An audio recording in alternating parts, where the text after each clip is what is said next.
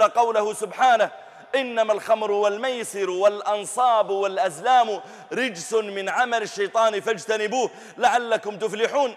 إنما يريد الشيطان أن يوقع بينكم العداوة والبغضاء في الخمر والميسر ويصدكم عن ذكر الله وعن الصلاة فهل أنتم منتهون؟ قال أنس كنت أسقي القوم في بيت أبي طلحة. كان الخمر لم يحرم بعد فكانوا يشربونه. كنت أسقي أبا عبيدة وأبا طلحة ونفرا ممن كانوا في البيت. قال فأقبل رجل من عند رسول الله صلى الله عليه وسلم وقرأ الآية وقرأ في آخرها فهل أنتم منتهون؟ قال فقام والتفت إلي أبو طلحة وقد قالوا انتهينا ربنا انتهينا. والتفت إلي أبو طلحة وقال قم يا أنس فأهرق ما في هذه القرب.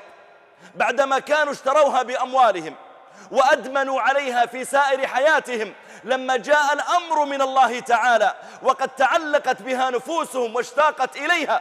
ومع ذلك ما دام أن الله أمر فالأمر كما قال الله تعالى إنما كان قول المؤمنين إذا دعوا إلى الله ورسوله ليحكم بينهم أن يقولوا سمعنا وأطعنا وأولئك هم المفلحون. ومن يطع الله ورسوله ومن, يطع الله ورسوله ويخشى الله ويتقه فأولئك هم الفائزون. قال قم يا أنس فأهرقه. قال فقمت أحل فم القربة وأريقها. ما قالوا نتأكد من الموضوع؟ ربما أن هذا الرجل لم يحفظ ربما أن الأمر فيه خلاف ما قالوا ذلك. ما دام أن الله أمر ننساق مباشرة.